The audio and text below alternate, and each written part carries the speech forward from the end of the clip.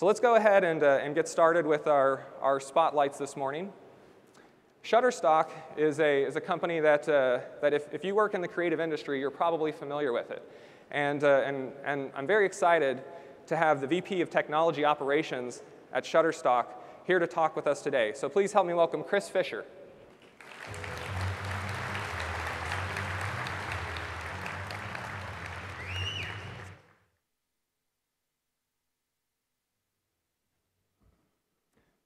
Morning, everybody. Morning.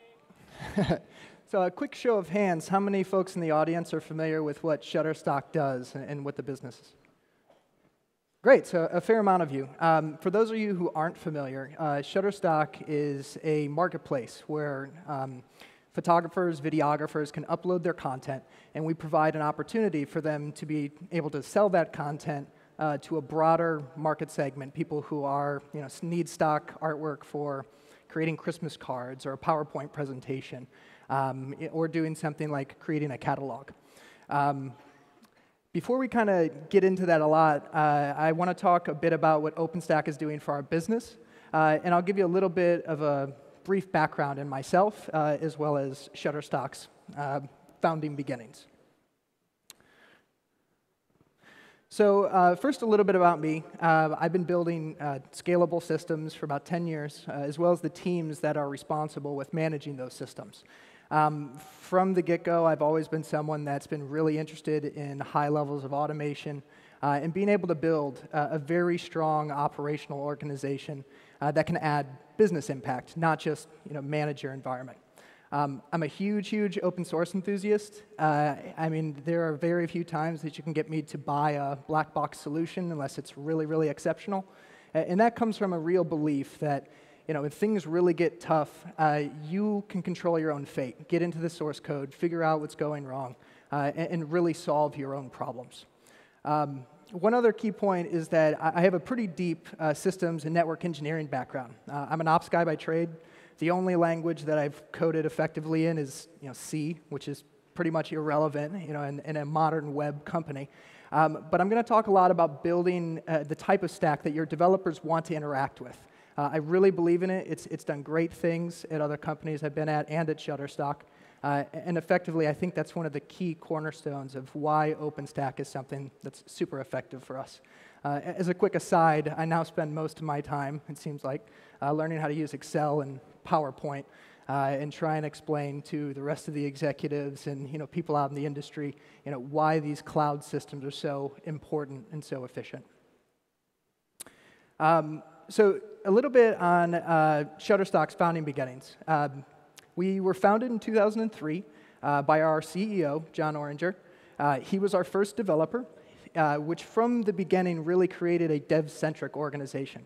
Uh, it's pretty cool. Is from inception to our IPO last October and beyond, we've remained very focused on creating a great, great technology platform that developers really like interacting with. Um, our tech stack is another kind of note, predates the modern cloud. AWS was launched in 2006, maybe, I believe. Uh, and effectively, a lot of the modern technologies for building a cloud or interacting with the cloud just weren't there when we were already handling pretty large volumes of traffic.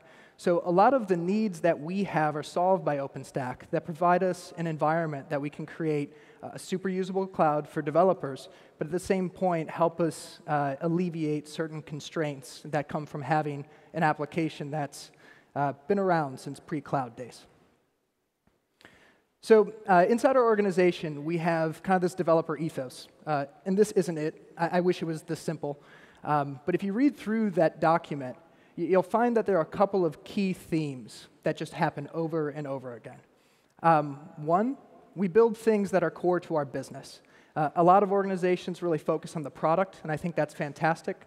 Uh, but we really ask ourselves if this functionality is core to our business, uh, orchestration or deployment, or the ability to speed development, we want to be building that. We don't want to buy an, an off-the-shelf solution. Uh, secondly, we want to stay open source. Again, I kind of talked a little bit about, you know, when things get rough, it's nice to be able to read the source code. But beyond that, there are great recruiting efforts and great capabilities that come out of using community-supported software. Um, it's just something I believe so much in, and it's treated us really, really well at Shutterstock so far. Um, three, we want to invest in things that create collaboration uh, and innovation among all the individuals at our organization. Um, people don't talk a lot about how much tooling or your platform is important in that. Uh, it's really easy to think about process or being agile or having you know Kanban style type groups uh, to really help foster collaboration and innovation. But if you get inside a lot of developers' heads, they, you know, they think about collaboration and innovation via pull requests or working within a technology framework, uh, everyone being able to write and read code. And this is another one of the key points why you know, OpenStack is pretty great for our environment. Uh, and fourth, I think there's a lot of people out here who probably agree with this. Just automate everything. If it's something you don't need a human to do it, uh, don't. You'll find something better for that human to be doing, you know, other than you know, sitting there and running scripts recurringly at midnight every night. So uh, a little uh, bit about the platform. Uh, it seems pretty easy to upload and download photos and videos, but it is a pretty large system that we've created at Shutterstock. Uh, it's got thousands of nodes across multiple data centers. Uh, we're managing several petabytes worth of storage in an open source technology called MogileFS, um, which is backed by all kinds of heterogeneous disk from you know, white box servers to you know, appliances that we buy from a, a company called Coraid using ATA over Ethernet.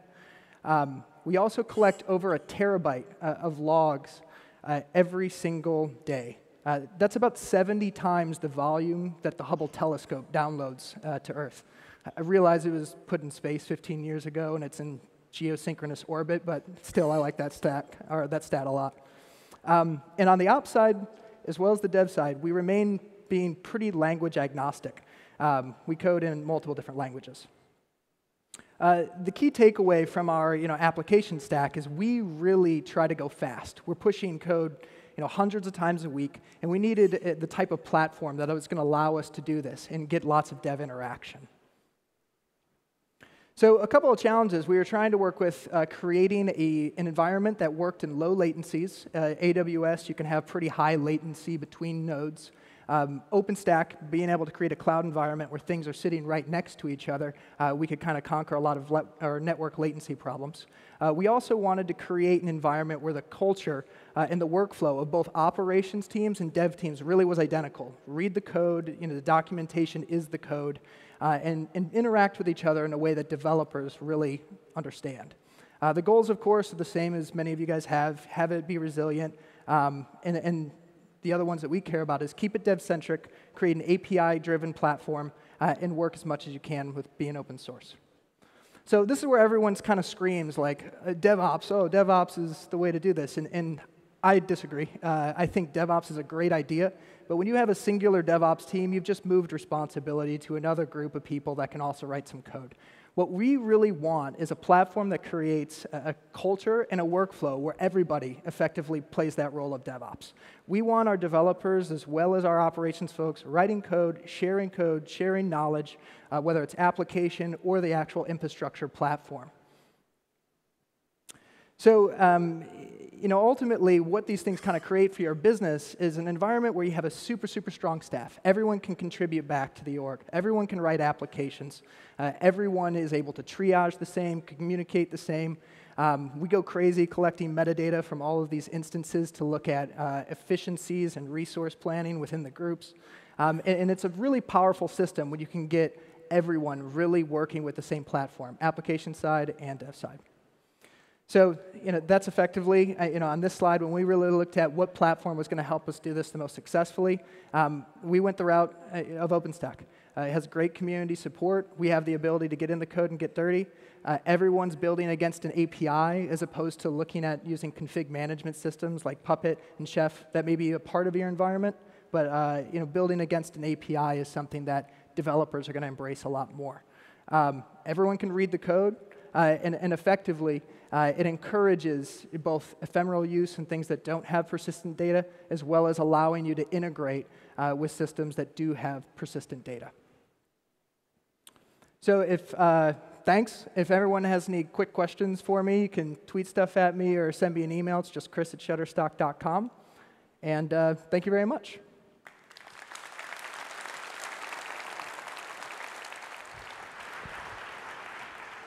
Thank you, Chris.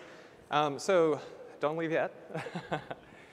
uh, so I, when we've talked, one of the things that I've found really interesting is, you know, you're obviously a technologist, and you were throwing out some great stats about the, uh, the kind of environment you're running. But the thing that, uh, that really hit me when, when we talked before was, uh, was you have a business need, which is you have uh, this application that has specific requirements that maybe don't fit into a menu-driven type technology offering, but you have developers who are you know, developers, and, and they want to have an agile environment to work in.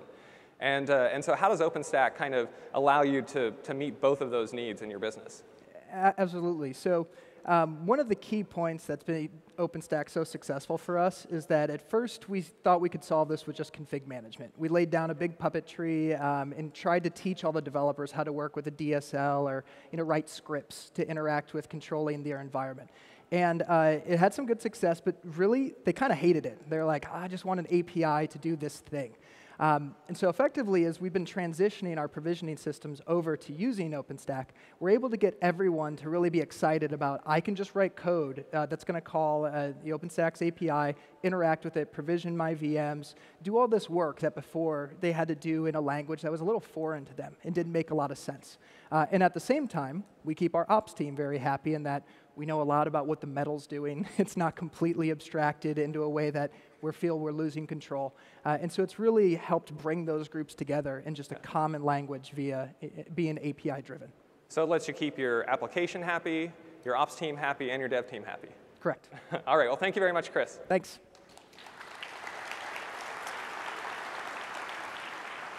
So Shutterstock is, uh, is, is, focused on um, the, the needs of, of creative types, and, uh, and including individual creatives.